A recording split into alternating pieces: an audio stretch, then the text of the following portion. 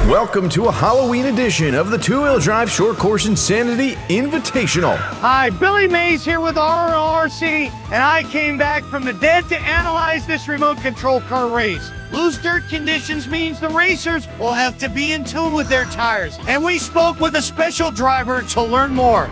I'm having a blast. I'm actually racing tomorrow as well, so I figured I can kind of use this as a test run. First time with RRLC. Hopefully things come out of this. Coming out here at first, I actually started on sprinters. Thought the track would kind of break up a lot more than it has, and uh, yeah, it has not. Figuring out the tire program still. Um, it seems like there's like not a perfect happy medium, but it makes it up for a good challenge. Struggling really bad with two-wheel drive short course right now. We're trying to get some boggles figured out with the car. Just trying to conserve myself for the main, and uh, main's usually when we shine.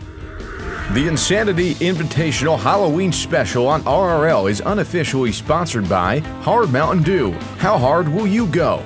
And by Fright Castle Ghoul Burgers, a great midnight snack. And if you order now, you'll receive a No, no, no, none of that. These are unofficial sponsors. Billy, who do you have your eyes on in this race? I like Brent Post. He came off a round six win in the Backyard Series, and he's top qualifier today. He's ready to battle. Making his RRL debut starting in second is Captain Kirk. He ran the fastest lap of qualifying. In third is Cullen. He will need a big time run today because it's really tough to pass here at this little old barn. But wait, there's more. Bill rounds out the field in a race that features all team associated trucks. Thanks, Billy, and here we go. Three, two, one. Then we're off. You took off really well at the start. Here's the onboard view from the back of my truck, and right away, Bill Albanese with a mistake entering turn two. Post reclaims the lead. You can tell the speed these guys pick up even through the turns. It's remarkable. Absolutely. Oh, I gave up a lot there around turn six. You're lucky Kirk didn't pull a fast one on you. Post now on his lid. He'll drop back to third place in what's been a chaotic start. This is a fantastic product. Kirk now hanging on a second for dear life with Post right on his rear bumper. Post now looking to the inside of Kirk. Kirk got a little bit crossed up. That's a big mistake. He's going to lose a spot to Post. Whoa, in oh, trouble. goodness. Post nosedives into the dirt. That'll need a marshal. Back to back mistakes. I'll extend my lead. Post is really trying to put the hammer down, and that will cost him more than one of our $40 OxiClean tubs. I guarantee it. Here at RRL RC, we're always brewing up something. You're going to want to like, subscribe, and ring the bell so you don't miss one of our special RC car concoctions.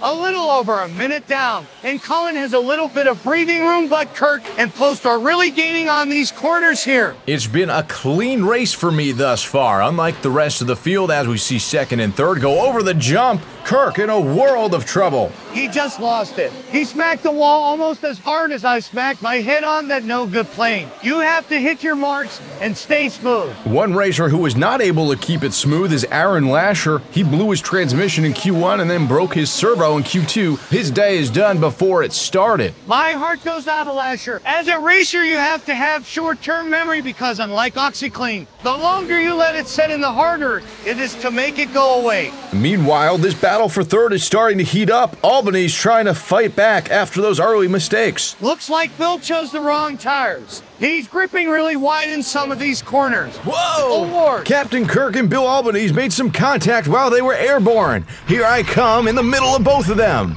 You really got to try to get your setup perfect, and that's what Cullen has done today. Lap traffic an issue now as I got caught up with Bill and he blocks me on the outside. I don't know if he knows if I'm in the lead.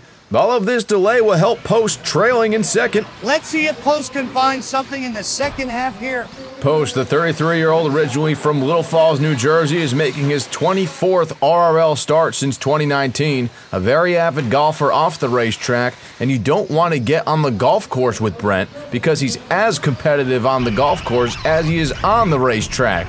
I have personal experience with this. Post is absolutely cooking right now. You can see that gap closing. His last lap was the fastest of the race, but this isn't going to help. A mistake. He hit the tubing. That is a big no-no. And he'll lose out on some precious seconds now having to deal with lap traffic of his own. Billy, what do you see? This is like when you spill red wine over white carpeting. Unless you have OxiClean, your day is ruined. But in all honesty, it's almost like the faster you're trying to go, the slower you're going to go. I just don't know if anybody has anything for Cullen right now. But wait, there's more. I had a 1995 special discount for viewers, but I am dead. Okay. What got you into RC car racing? Let's just say that I have had a lot of time on my hand. I've gotten into really anything to keep my mind off of suitcases and airplanes. If you know, you know. And that might put the nail in the coffin for any late race magic for post. I'm able to pull away. Kirk was in the wrong place at the wrong time. A tough break for Post, and now Cullen is pretty checked out on the rest of the field. Any pro racers you especially like? My favorite driver right now has to be Dakotah Phend from TLR. I like him because TLR sounds a lot like TLC, and that is the channel where a lot of my infomercials played.